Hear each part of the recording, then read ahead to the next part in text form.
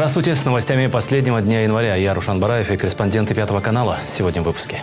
Жителей пострадавшего от взрыва газа дома в Батакаре размещают по временным жилищам. Также открыты пункты сбора гуманитарной помощи. Держит в страхе весь район.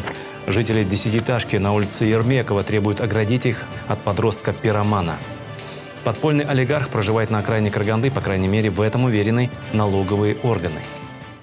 Жителей пострадавшего от взрыва газа дома размещают по временным жилищам.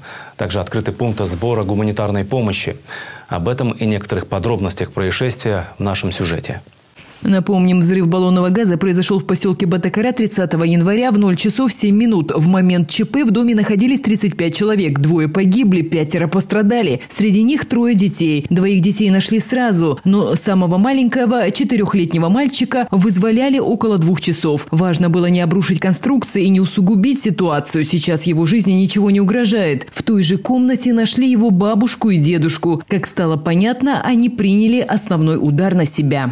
Руководство и личный состав Департамента полиции Карагандинской области, Совет ветеранов органов внутренних дел и Национальной гвардии Карагандинской области выражают глубокие соболезнования оперуполномоченному управления полиции Бухаржирауского района Даурену Тулигеновичу Турсунбекову в связи с трагической гибелью родителей Тулигена Турсунбековича Рахметова и Алмы Амаровны Рахметовой.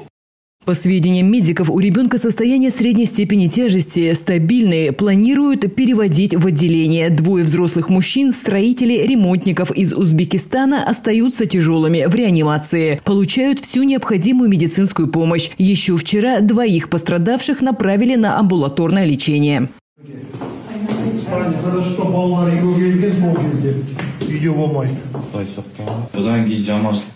өткенге өкінбеу керек алла тағаланың бір нәрсесін сонымен әкетеді дейді ғой енді Жители дома продолжают размещать по временным жилищам. Напомним, согласно введенного режима ЧС местного масштаба, все делается за государственный счет.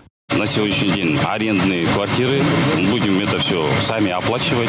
В дальнейшем будем, э, как решение э, экспертизы будет, э, по этому решению, если этот дом, они скажут, что к восстановлению не подлежит, тогда дальше будем уже думать о строительстве дома. Из 12 семей одна семья отказалась от временного жилья, решив жить с родственниками. Сегодня в местном Акимате проверили их помещение. В течение дня сотрудники Акимата совместно с волонтерами помогали организовывать перевозку личных вещей. Утверждены руководители государственных учреждений по оказанию необходимой помощи и консультации семьям. Работа по ликвидации последствий чрезвычайной ситуации продолжается и находится на контроле Акима области. Пункты сбора гуманитарной помощи для пострадавших жителей в результате взрыва газового баллона в поселке Будакара открылись в Карагандинском областном, а также в Бухаржирауском районном филиалах партии «Аманат». В настоящее время у людей имеется необходимость в следующем. Постельные принадлежности, матрасы, одеяла, подушки, постельные комплекты, средства личной гигиены, полотенца, шампуни, стиральные порошки, зубные пасты и щетки, продукты питания, мука, крупы, подсолнечное масло, сахар, макароны, посуда. Пункты сбора работают в будние дни с 9 часов утра до 18.30 часов вечера по адресам Караганда, улица Алиханова, 4, поселок Батакара, улица Абалайхана, 41А. Ирина Вабищевич, Николай Шевелев, Пятый канал. Допиналась на 70 тысяч. Контролера, сломавшего лифт в одной из многоэтажек на Юго-Востоке, нашли и привлекут к ответственности. В социальные сети попало видео, на котором женщина варварски обращается с лифтом. Судя по описанию, она является контролером одной из коммунальных служб и выполняла свои должностные обязанности по снятию показаний в доме по адресу улица Ашимова, 24. Сначала она поставила сумку между дверями, чтобы лифт не закрылся, а сама удалилась. Дверь все же закрылась, и тогда она начала ногами ее пинать, чтобы заполучить свою поклажу, не подозревая, что ее действие снимает камера видеонаблюдения. Действия контролера привели к поломке лифта, написал представитель КСК микрорайона Панель-Центр. В департаменте полиции сообщили, что сотрудниками Юго-Восточного отдела полиции установлена нарушительница. За хулиганство женщину ждет штраф в размере 70 тысяч тенге или арест до 15 суток. В отношении 44-летней жительницы города составлен административный материал по статье 434 Кодекса об административных правонарушениях и направлен в суд для принятия процессуального решения. Пресс-служба Департамента полиции Карагандинской области. Зажигательный сосед. Жители десятиэтажки на улице Ермекова 106 дробь 6 уже не просят, а требуют оградить их от подростка-пиромана. На протяжении ряда лет он держит в страхе весь район. Люди пишут заявления, но меры не принимаются. Ирина Вабищевич с подробностями. Это видео мы снимали 15 января в доме на Ермекова 106 дробь 6, когда люди замерзали в своих квартирах, прокопченных, случившимся накануне пожаром. Обошлось малой кровью, без жертв и разрушений. Правда, все щитовые сгорели, а без электричества тут нет отопления. Погорели детские коляски и велосипеды. Это не первый пожар. И жители винят в поджогах подростка. За работу, за все это мы заплатили жильцы миллион четыреста, но они нам сделали скидку, то, что вот многодетные, сколько вот без света сидим. Акимат нам помог, дал э, кабеля. Ну, где-то вот, ну, 900 тысяч мы, вот, грубо говоря, оплатили. Их соседи, там, не знаю, сверху, то ли снизу, даже застраховали свою квартиру от поджога от него. Понятно, что это ребенок. Но, наверное, лечить надо его. Посадить, они говорят, мы его не посадим, пока он человека не убьет. Но это тоже, вот как у нас дети, кто работают, дети одни сидят. Конечно, и боишься уже, и даже уже и ни коляски, ни санки уже ничего не оставляешь. Мы свой этаж еще не можем отремонтировать, потому что это все деньги. Минимум дважды в полгода тут случаются поджоги. Камеры фиксируют 14-летнего соседа, но жители ничего поделать не могут. После крайнего поджога им сказали, что было замыкание проводов. Я не знаю, почему они такое заключение делают. Ну, они изначально как-то не настроены были. Я разговаривала с соседкой, которая живет под ними, под этим, ну, как бы мальчик живет. Она снимает квартиру. Она говорит, я все, я уже переезжаю, я выдержать не могу. Он постоянно рыдает, кричит, мать постоянно топает э, по, по полу. То есть стоило мне что-то в группе возмущаться, у меня на следующий день шины проткнуты на моем автомобиле. Ну, как бы пострадавших много. Один раз у нас газелист, кто-то там доставку чего-то делали на газели. Этот мальчик прям кирпич скинул ему на лобовое стекло, разбил. Он писал заявление. И сам следователь прям своими словами он сказал, мы знаем, постоянное обращение у нас есть, но прокуратура закры- закрывает сколько раз мы, говорит, э, им отправляем его дела, они постоянно закрывают, потому что он несовершеннолетний, и у него справка есть о том, что он стоит, состоит на учете. Жители показывают обращения и в полицию, и в прокуратуру, но действий в итоге нет. А ждать, когда кто-то получит увечья, погибнет или лишится жилья, жители не намерены. Мы также просили комментарий в полиции о предпринятых действиях, но безрезультатно. В таких ситуациях, когда пироман, ну, еще и недееспособный, то есть состоящий на учете, как я понимаю, в психдиспансере, а, пытаются писать заявление в прокуратуру, там, в МВД, в ЧС, чтобы привлекали к ответственности. На самом деле здесь картина совершенно по-другому складывается. Согласно норме 137 Кодекса здоровья народа и системе здравоохранения, говорит юрист, медицинская помощь оказывается принудительно в нескольких случаях. Первое идет с тяжелым психическим заболеванием, но, как правило, если не тяжелое, он ходит там в семье и за ним следят, то в этом случае второй пункт сыграет роль – это а, психическое заболевание, а, когда человек совершил при этом, ну, будем говорить, даже небольшое психическое заболевание, просто на учете стоит, совершил общественно опасное деяние. Это и есть общественно опасное деяние, когда он поджег дом, квартиру и так далее. То есть это общественно опасный день. Он мог фактически, э, ну, будем говорить, убить людей. Да? Преднамеренно, непреднамеренно, здесь уже не имеет значения. Жителям необходимо писать обращение в психоневрологический диспансер для того, чтобы ограничили свободу пиромана и принудительно оказывали лечение. Но для начала правоохранители и ДЧС должны документально подтвердить факт общественно опасных деяний. Если действительно, если, как они говорят, состоит на учете, тогда психдиспансер пусть забирают. Если не состоит на учете, пусть правоохранительные органы возбуждают уголовное дело, административное производство в отношении родителей, привлекают их к ответственности. Если это неоднократно, то уже отдел опеки попечительства должны уже решать вопрос об лишении или ограничении родительских прав, раз они не могут с ним справиться. А те уже подают на, будем говорить, родители о взыскании причиненного материального и морального ущерба. То есть тогда уже вот таким образом. Ирина Вабищевич, Миржан Жумамуратов, Равиль Валеев, Пятый канал.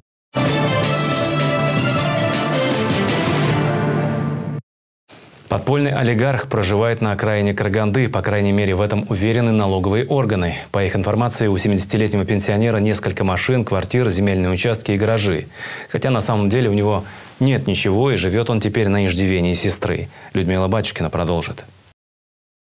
Давайте мне эти квартиры, я сейчас пойду людей выселю и буду платить вам.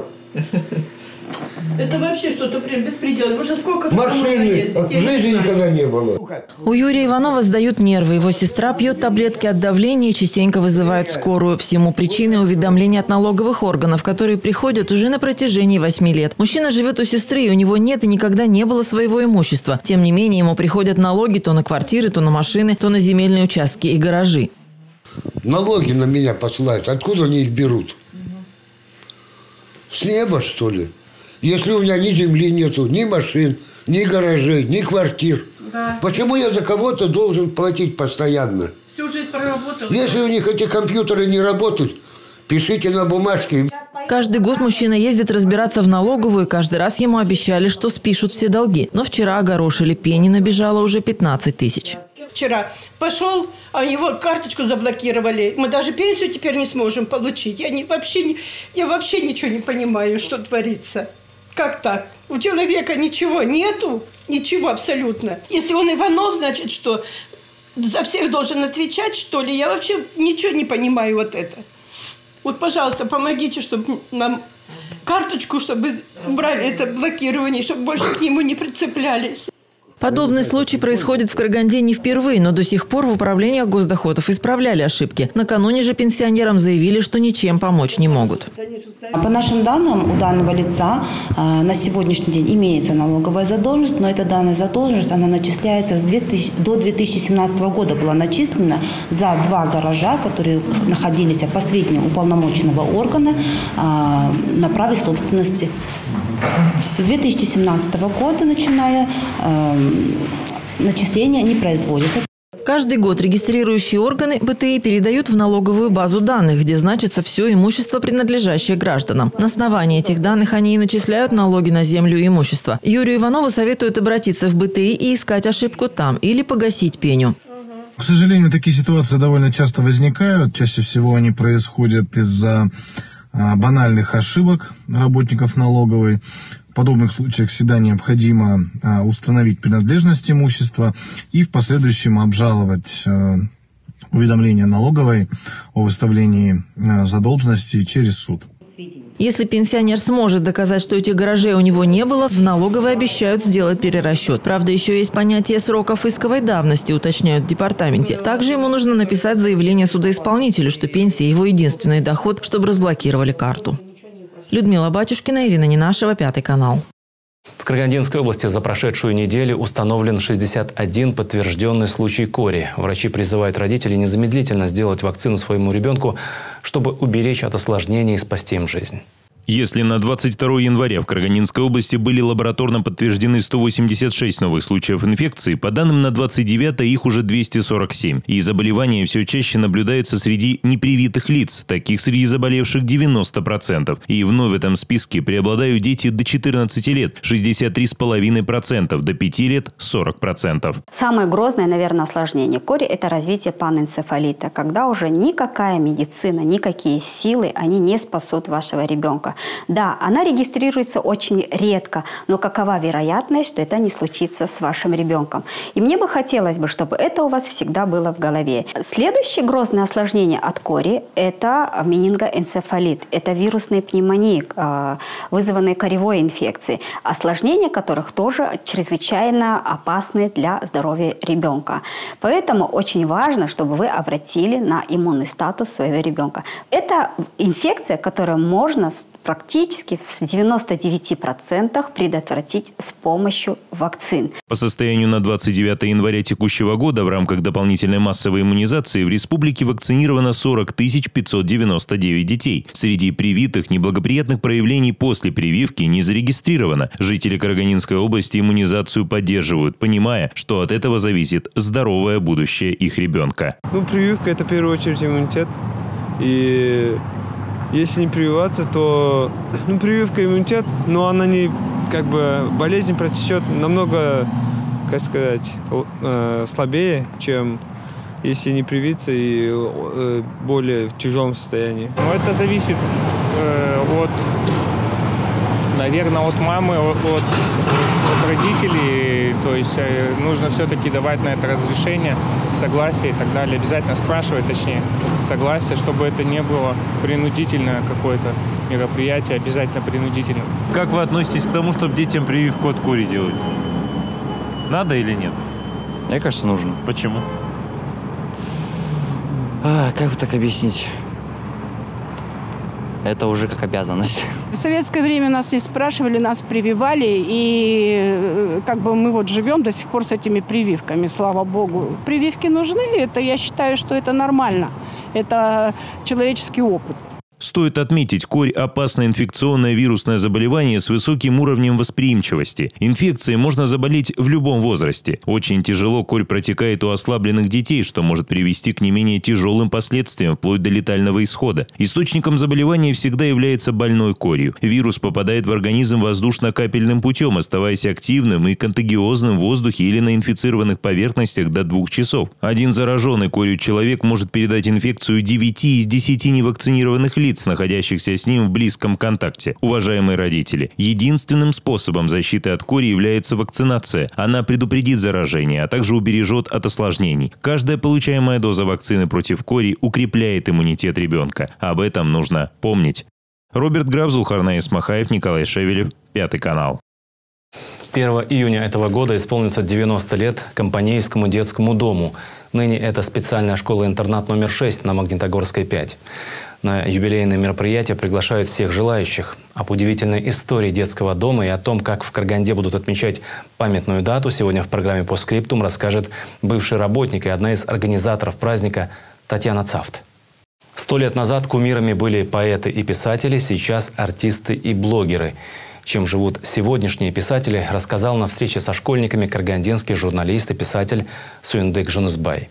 Ему исполнилось 75 лет. Суиндыка Жанызбая многие знают как корреспондента газеты «Урталык Казахстан», в которой он работает много лет, но считает, что писатель и поэт родился в нем еще в школьном возрасте, летом, когда он окончил шестой класс. Он жил тогда в селе Кызыларай Актагайского района показывали и демонстрировали кино. Передвижной, установка было тогда называется. А вот когда долго кино, кино не было, я, я взял, да я написал районную газету о том, что, что давно э, не было кино. Вот и с этого э, публикации началось все моя, как говорится, э, журналистическая работа школьные же годы Суиндык начал писать стихи. После окончил филологический факультет Каргу. Писал в газету и параллельно занимался художественным переводом, написал и выпустил больше 30 книг. Большинство из них сатирические рассказы и фильетоны, повести, книги, портреты. Стал членом Союза писателей. В последнее время занимаюсь исследованием э, алашардинцев, партии Алаш, э, республики Алаш. Вот и занимаюсь, и написал книгу э, о Э, Бокиханеве. Э, э, эта книга готова, ну, ждет публикации. А в данное время пишу про Жахаби Ахпаева. Вот такие мои планы. Эта встреча посвящена 75-летию Суэндыка Жанызбая. На встрече школьники интересовались, почему он выбрал профессию писателя, что в ней интересного и что он хочет донести через свои книги и очерки. Как вы знаете, в этом году многие наши писатели празднуют юбилей. На прошлой неделе мы праздновали юбилей Торихана Майбаса. Сегодня мы собрались в честь Суэндека Жанасбая. Наша цель, чтобы молодежь знала наших писателей и читала их книги. Поэтому мы работаем, делаем все возможное. Творчество блогера живет три дня, вот книга останется на века, уверен писатель. На встрече же ему вручили награду от Министерства культуры. Людмила Батюшкина, Зулхарна Исмахаев, Ирина Нинашева, Пятый канал. Обратная сторона Луны. Актеры областного академического казахского драматического театра имени Сейфулина представили новую театральную постановку. Посвящена она прогрессирующей болезни общества – коррупции.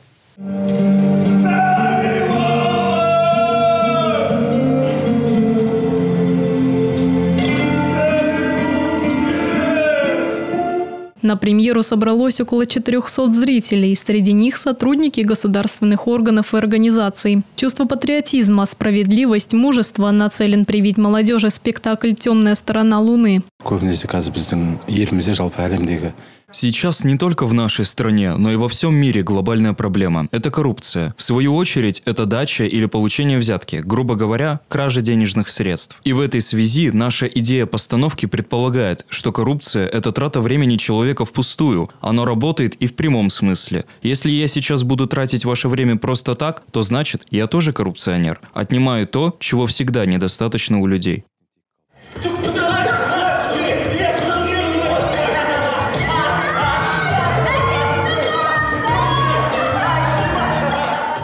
Тема коррупции прослеживается на протяжении всего спектакля. Главные герои Адиль, Коркем и Айбар – близкие друзья, недавно окончившие университет. С дипломами в руках они в поиске работы, призвания. На их пути предлагаются всевозможные способы получения должности. Хотя у них были большие мечты и надежды на будущее, каждого из друзей постигла разная судьба.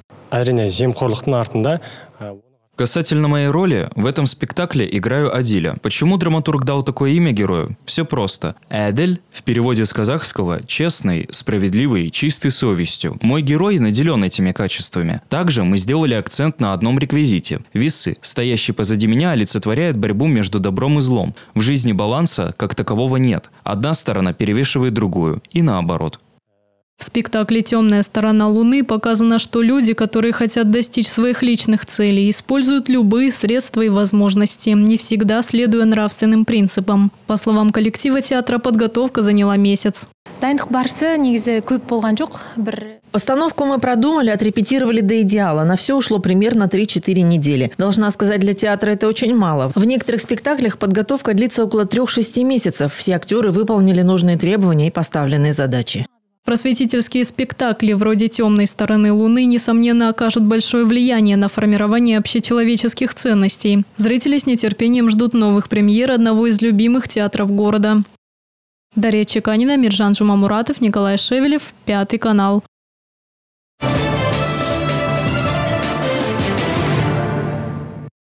Международный турнир по теннису проходит в эти дни в Караганде. Более 100 участников оспорят награды соревнований. Подробности в следующем материале. Казахстан, Россия, Узбекистан, Китай, Беларусь и Чехия. С 29 января по 3 февраля в Караганде проходит международный турнир по теннису Караганда Open. В соревновании принимают участие 108 спортсменов возрастом от 15 до 17 лет. К нам приехали игроки с разных стран, такие как э, Узбекистан, э, Россия, Белоруссия, Чехия, Китай. Э, игроки играют как э, в одиночном разряде, так и в парном разряде. В общем, приехало примерно 108 игроков. Из них примерно 60-70% э, казахстанцев. Хорошая материальная база и подготовленность полей к соревнованиям стали одними из основных причин, почему именно шахтерская столица стала местом проведения турнира. По словам Дины, этот турнир – отличная возможность для юных спортсменов проявить себя и свои возможности. Это хорошая возможность э, как для иностранцев попробовать себя и попытать свое счастье здесь, именно показать себя, свой уровень. Также хорошая возможность и для наших игроков э, получить хороший уровень, э, какой-то, как сказать, именно повысить себя в рейтинге ITF. В основной сетке турнира сыграют и наши земляки Ким Яна и Трайгель Родион. Пожелаем нашим ракеткам побед, а всем остальным участникам захватывающей, а главное незабываемой игры. Максим Трезуб, Николай Шевелев, Пятый канал. На этом у меня все. Увидимся завтра. До свидания.